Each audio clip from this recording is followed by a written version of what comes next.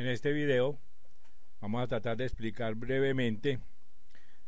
algo, algunas nociones adicionales sobre el símbolo de la cruz y para el efecto vamos a utilizar los lineamientos dados en el libro llamado La Doctrina Secreta de la señora Elena Blavatsky, volumen cuarto, llamado El Simbolismo Arcaico de las Religiones del Mundo y de la Ciencia. En la sección 8 de este libro eh, su, numeral B, llamado La caída de la cruz en la materia, la señora Blavatsky da algunas nociones muy amplias sobre los significados de la cruz, pero aquí vamos a, a subrayar algunos párrafos que nos indican claramente algunas ideas sobre el significado de la cruz. Ella dice que las cuatro brazos de la cruz en X, o sea, la cruz decusada, que es la cruz hermética, indican los cuatro puntos cardinales, que eran muy bien comprendidos por las mentes místicas de los indos, brahmanes y budistas muchos siglos antes de que se oyese hablar de ello en Europa, pues este símbolo se encontraba y se encuentra en todo el mundo. Doblaron ellos, dice la señora Blavatsky, los extremos de la cruz e hicieron de ella una esvástica que ahora mismo es el Wan de los budistas mogoles. Implica ella que el punto central no está limitado a un individuo, por muy perfecto que sea, que el principio de Dios está en toda la humanidad y que la humanidad, como todo lo demás, está en Dios, como las gotas de agua en el océano, estando los cuatro extremos dirigidos hacia los cuatro puntos cardinales y por lo tanto perdiéndose en el infinito. Y Sarín, un iniciado, se dice que encontró en sobre el cadáver de Hermes, la bien conocida tabla esmeraldina, que se dice contenía la esencia de la sabiduría hermética. Entre estas sentencias, véanse trazadas en ella los siguientes. Separa la tierra del fuego, lo sutil de lo grosero, y asciende de la tierra al cielo, y luego vuelve a descender a la tierra el enigma de la cruz, pues, está contenido en estas palabras y su doble misterio queda aclarado para el ocultista. Dice así,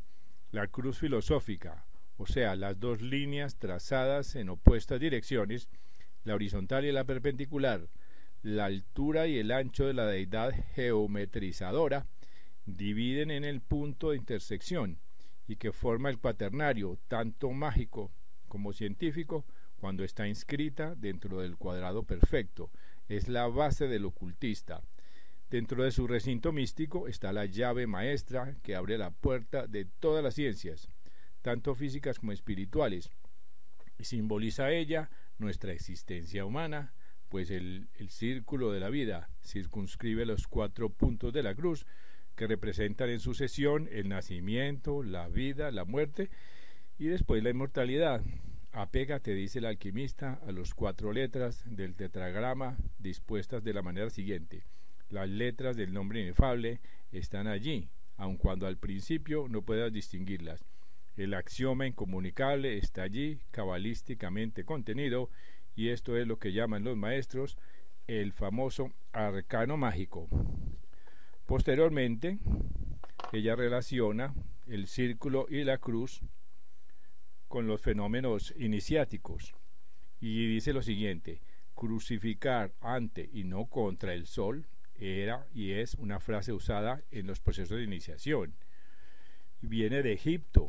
pero original, originalmente nació en la India. El enigma solo puede ser descifrado buscando la clave en los misterios de la iniciación, siendo así que el adepto iniciado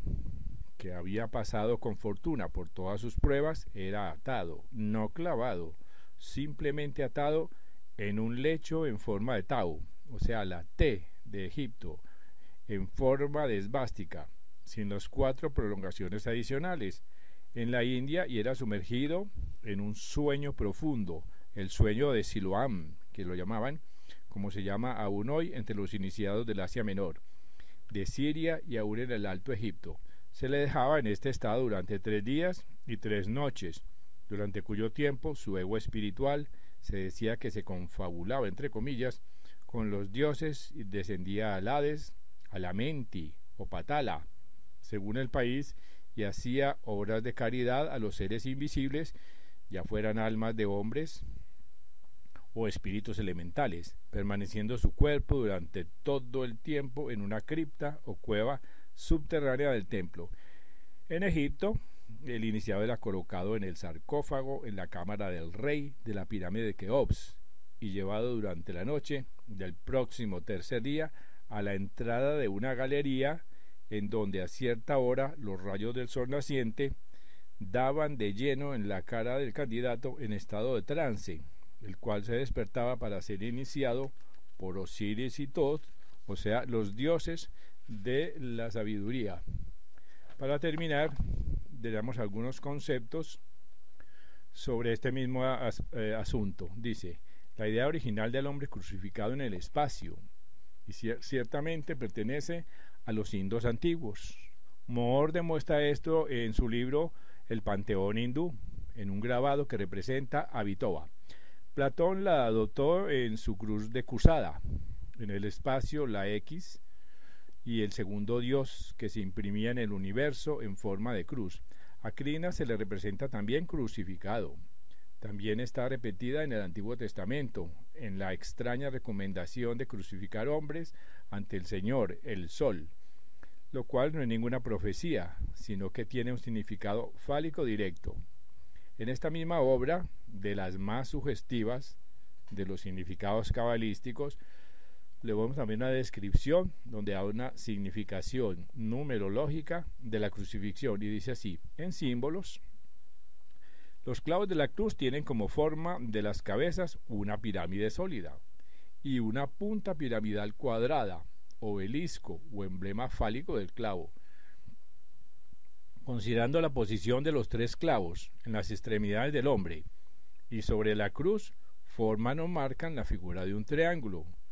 hallándose un clavo en cada extremo del triángulo. Las heridas o estigmas de las extremidades son precisamente cuatro, significando el cuadrado. Los tres clavos con las tres heridas dan el número seis, que denota las seis caras del cubo desarrollándose, que constituye la cruz o la forma del hombre, o siete, constando tres cuadrados horizontales y cuatro verticales, sobre el cual se coloca el hombre, y a este a su vez señala la medida circular transferida a las aristas del cubo. La herida única de los pies se convierte en el número 2 cuando los pies se separan, haciendo 3 entre todas cuando están juntos y 4 cuando separados, o sea 7 en total. Otro número fundamental, femenino, de los más santos entre los judíos. Así, el paso que el significado fálico o sexual de las claves de la cruz está probado por la lectura geométrica y numérica. Su significado místico es indicado por las cortas observaciones hechas anteriormente sobre el particular en su relación o situación respecto de Prometeo. Este es otra víctima, pues es crucificado sobre la cruz del amor, en la roca de las pasiones humanas, un sacrificio por su devoción a la causa del elemento espiritual de la humanidad. Sin embargo, el sistema primordial, el doble signo que se, vaya, que se halla bajo la idea de la cruz, no es una invención humana, pues la ideación cósmica y la representación espiritual del ego hombre divino están en su base. Más adelante se desarrolló la hermosa idea, adoptada por los misterios y representado en ellos, del hombre regenerado, el mortal que crucificando al hombre de carne y sus pasiones en el lecho procústeo de tortura, renace como inmortal, dejando el cuerpo, el hombre animal tras él, atado a la cruz de la iniciación, como una crisálida vacía, el ego del alma se hace eh, tan libre como una mariposa.